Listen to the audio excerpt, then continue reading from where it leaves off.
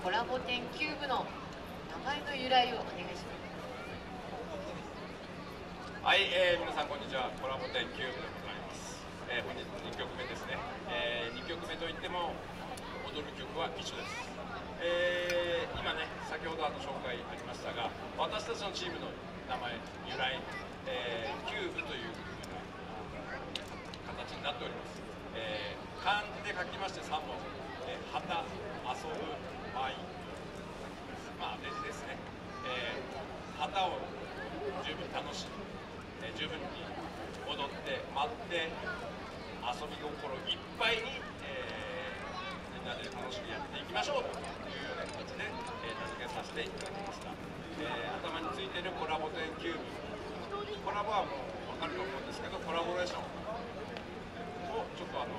省略してねコラボと言ってますがその後についている点ットですか、えこれ重要ということです、え私もよく分かんないそれなんで、えー、覚える時にはコラボ10キューブと、えー、フルネームで覚えてください。以後よろしくお願いします。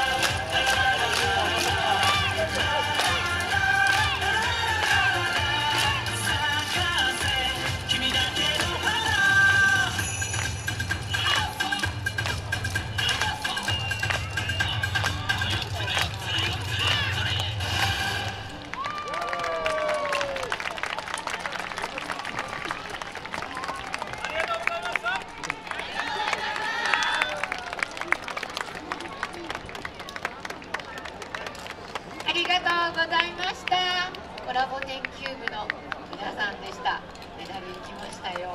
おお ありがとう